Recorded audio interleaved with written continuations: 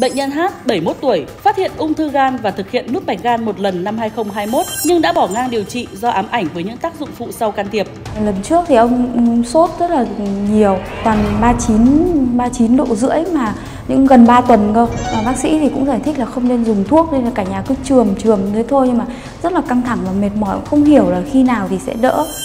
Tháng 4 năm 2023, bệnh nhân thăm khám tại bệnh viện Hồng Ngọc sau khi có triệu chứng đau bụng nhiều, chán ăn, mất ngủ kéo dài. Khối u đã à, phát triển tương đối nhanh, kích thước trên 8 cm và rất là sát bao gan, do đó là nguy cơ vỡ ra ngoài à, rất cao và khi khối u gan mà vỡ, nguy cơ ảnh hưởng đến tính mạng của bệnh nhân cũng rất là lớn và cái kích thước của khối u trên 8 cm thì cũng không còn chỉ định phẫu thuật nữa. Tuy nhiên may mắn cho bệnh nhân là khối u vẫn nằm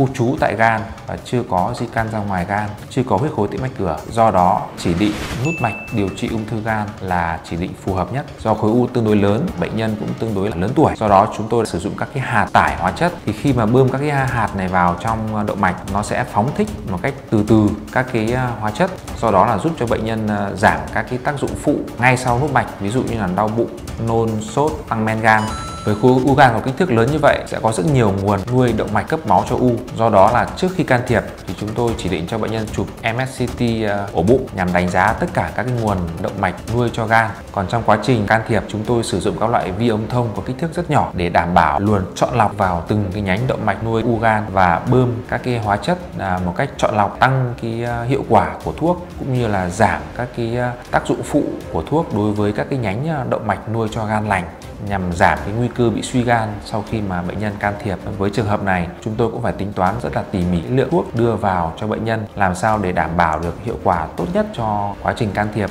nhưng mà lại hạn chế tối đa các cái tác dụng phụ do cái hóa chất à, bơm vào. Bác cảm thấy ra lần này cảm thấy nó thoải mái hơn, bác cảm thấy khỏe hơn. Sáng nay bác đã đi bộ rồi, ăn uống cảm thấy nó thoải mái và thực ra gia đình cũng chuẩn bị tinh thần là ông sẽ sốt rất cao và rất lâu giống như lần trước. Nhưng mà ông lại chỉ sốt có hai ba ngày thôi. Và cũng chỉ 38 độ lau người là lại về 37 độ. Nên là cả nhà cảm thấy cũng cũng hơi bất ngờ và, và thực sự là ông đỡ mệt hơn và cả nhà yên tâm hơn rất nhiều. Ung thư gan vẫn là một trong những loại ung thư phổ biến nhất ở Việt Nam, đặc biệt là với tình trạng à, nhiễm virus viêm gan B, viêm gan C hoặc là à, các tình trạng lạm dụng rượu bia, đồ uống có cồn. Do đó nên thăm khám sức khỏe một cách định kỳ để phát hiện sớm ung thư gan. Trong trường hợp mà ung thư gan được à, phát hiện ở giai đoạn sớm thì à, chúng tôi sẽ có nhiều lựa chọn cho bệnh nhân để điều trị triệt căn khối u gan